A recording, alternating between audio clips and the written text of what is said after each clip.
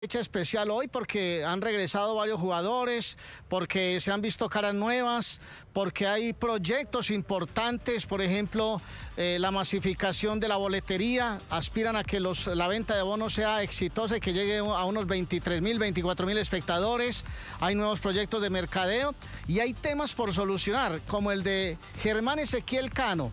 Al jugador se le venció el contrato el 31 de diciembre. En este momento el jugador es libre y están en plena negociación. Vamos a ver al doctor Michael Gil Gómez, el presidente del Medellín, hablando de la real situación del actual goleador del campeonato, Germán Ezequiel Cano. Hombre, las conversaciones con Germán siguen abiertas, no se han cerrado. Eh, ha habido mucha confianza entre las partes, comunicación continua, pero aún estamos en el proceso de conversaciones. No, el jugador terminó claramente contrato con el Medellín el 31 de diciembre. A partir de ese momento él ya no es nómina de nuestro equipo. De hecho, el equipo ya ha hecho el esfuerzo económico. Ellos nos hicieron llegar, como comenté, en la apertura de las conversaciones, luego las pretensiones. Sobre esas pretensiones nosotros hemos presentado opciones económicas claramente de mejoras sustanciales en las situaciones del jugador. Entonces, en este momento ellos están revisando esas posibilidades y nosotros estamos muy atentos. ¿Hay plazos en el tema de Cano? En este momento estamos abiertos. Eh, el representante ha comentado que muy probablemente se tomará esta semana para revisar las propuestas.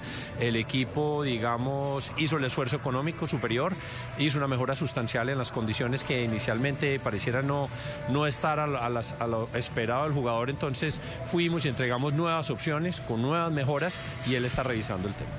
¿Quiénes llegan a reforzar el equipo rojo esta temporada, doctor? Hombre, esta temporada están llegando Dairon Mosquera, Diego Arias, Nicolás Palacios, William Arboleda, están llegando a reforzar el equipo, son jugadores que tienen madurez, que son parte, algunos regresan al equipo. Hemos tenido también la ventaja de firmar por, por tres años más a Larry Angulo, Jesús David Murillo, Andrés Ricaute, Brian Castrillón. Tenemos nuestros arqueros que ya hoy nos acompaña Andrés Marmolejo, firmó recientemente con el equipo, el día de ayer con el equipo. Entonces tenemos una base muy sólida y unos refuerzos que llegan realmente a hacer la tarea dentro del equipo. ¿Van a llegar más?